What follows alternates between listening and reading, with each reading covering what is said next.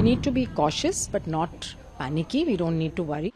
We don't have any data to suggest that this variant JN1 is more severe or it's going to cause more pneumonia or more death. ऐसा कोई data नहीं है. Try to take the normal preventive measures that we are all now familiar with. WHO has said let's keep a watch on it.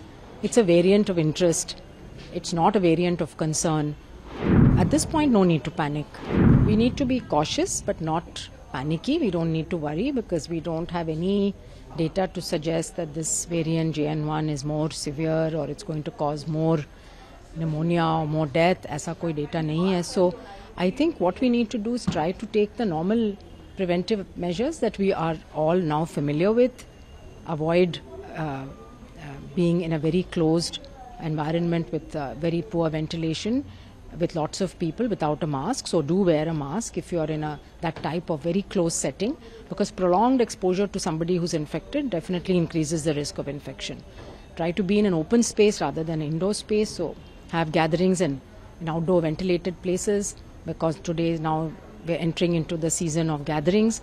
And um, if you have symptoms please try to avoid going into parties and going into office. Stay at home take rest wear a mask make sure that you are not coughing and spitting into other people's faces wash your hands regularly and um, of course if you have some warning symptoms and signs like uh, severe fatigue prolonged fever or you're feeling breathless you feel you can't really breathe well then you need to go into the hospital and Ma'am, do you think this particular variant that is Omicron? Yes. So we're all now very familiar with Omicron because we've had it for now around two years going around. I think most of us have also been infected by Omicron. So it's the same family, so not much of change, but one or two new mutations which have come up. And that's why I think WHO has said let's keep a watch on it. It's a variant of interest, it's not a variant of concern. So I think we need more data, we need to monitor, we need to step up the surveillance. But uh, at this point, no need to panic. And what about hospitalization? Do you think if the hospitalization is going to increase, if the number of cases will increase? See, when number of cases go up, then there's always a small percentage of people who need to be hospitalized. So, if you have 100 people with infection, one person will need to be hospitalized. If you have 1 lakh people, then 100 people need to be hospitalized. So, that way, you know, you will um, see that there's an increase uh, in people getting sick. But hopefully, it's not going to come to that. Uh, I think if people put their own personal precautions into place and uh, we follow COVID appropriate behavior because it's not only COVID, we have to realize that there are other respiratory infections circulating now in the winter, and therefore these precautions will help us uh, against um, influenza, against common cold, against all infections, so we can stay healthy.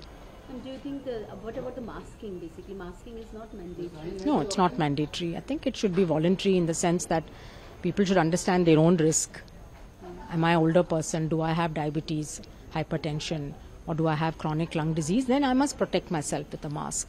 Also, if I'm feeling sick, I'm feeling like I have a cough and cold, I should wear a mask to protect others.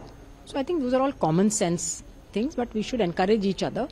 Shouldn't laugh at each uh, somebody who's wearing a mask. I think it's uh, certainly a good practice in many countries. You see that everybody is wearing a mask in the winter months. If you go to Japan, you'll find everyone is wearing a mask, especially when they're in public transport. So there's nothing wrong with. Uh, it's a good practice to do that. Uh, Ma'am, as we've seen that you know the number of cases of this particular variant JN.1, the number of cases increased during the time of some event, in Goa. So be- uh, because of the tourism also, it is a tourist place. Do you think at this point RT-PCR should be mandatory for the travelers at international airports? Airports? I don't think uh, you see these are things that the government will put out the guidelines based on uh, you know the trend that they're watching. So I think right now it's we have not reached the point where these kind of things have to be put in place. Maybe we will in a couple of weeks. Maybe we won't. We need to wait and see. It all depends on how things turn out. Obviously, the government is keeping a close watch. Surveillance has been increased. Uh, all states are on high alert, and uh, preparations have been made in case there is a need, you know, for oxygen beds. So it's better to be prepared always, and we have to adapt to the changing situation.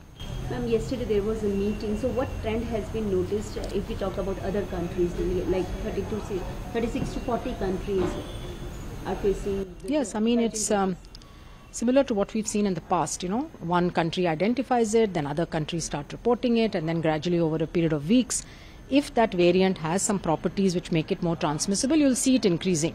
This is what has happened with JN1. It was 0.1%, then it became 1%. Now it is 30% of all sequences which are globally being deposited in GISAID. From India also now the numbers of sequences will go up because genomic se- uh, sequencing has been increased. So uh, it's it's uh, what is expected. It's nothing unexpected, and we knew that COVID will continue.